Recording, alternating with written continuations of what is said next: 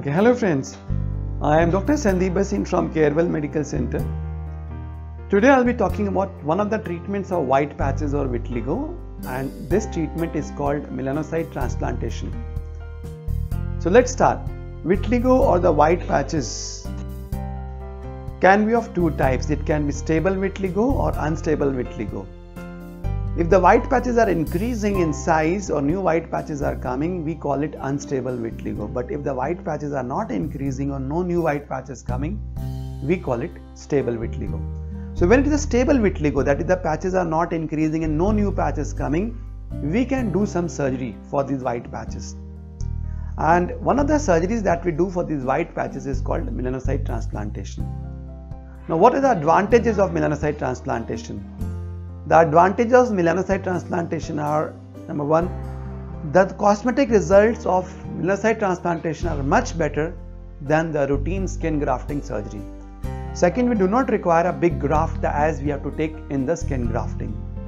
So the color match is better, cosmetic results are better, and also the graft requirement in melanocyte transplantation is much less as compared to the conventional skin grafting. So I'll be showing you how we do this procedure on a client. So let's see how we do this.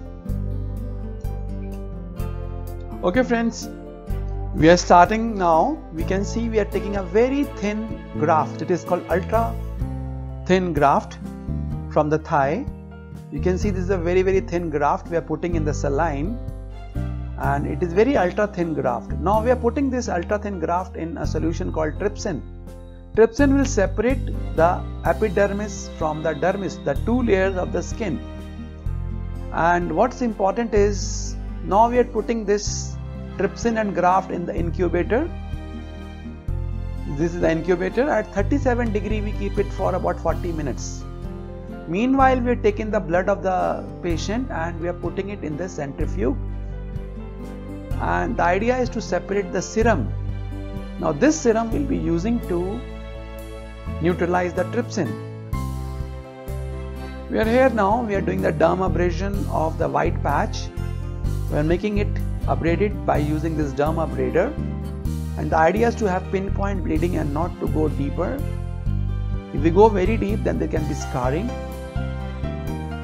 So 40 minutes have passed now and we are taking out this trypsin and the graft.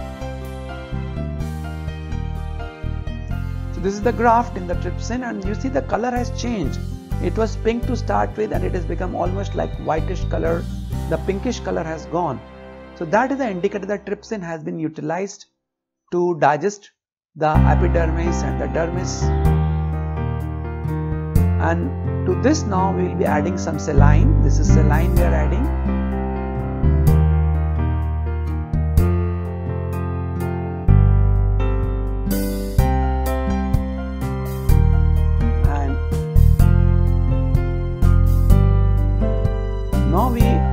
Separate the epidermis from the dermis by mechanically we are trying to separate the dermis and the epidermis. So you can see the brownish fluid color coming out. These are the melanin pigments that are being separated and they're coming into the solution. And you can see this, we are putting this yellowish serum that we removed from the patient's blood. Now this serum helps to neutralize the trypsin. Uh, once we have done this, we have taken this fluid with the epidermis and dermis and passing it through the filter. The idea is that we remove the dermis and epidermis bits separately, separate them out and this serum that we have separated, we are putting in the centrifuge. We are centrifuging at 1500 rpm for about 10 minutes. The centrifugation is over now and we can see that the pellet, brownish pellet is formed. This is the pellet of the melanin pigment. Again we are putting some serum into this uh, melanin pellet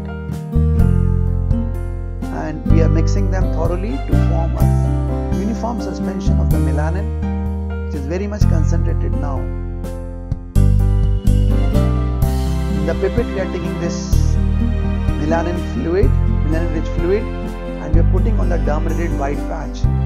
This is a dermabraded white patch and we are putting this melanin fluid on this.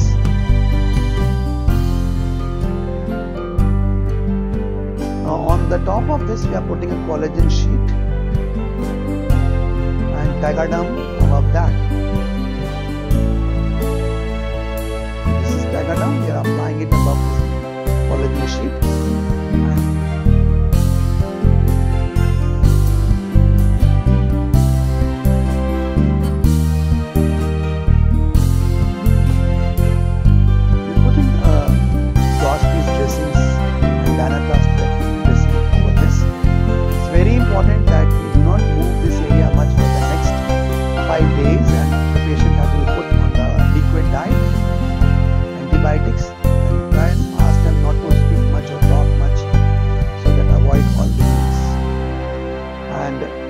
I'll be showing some of the before after results of melanocyte transplantation. Normally the results come after 2 to 3 months time and let's see some of our results.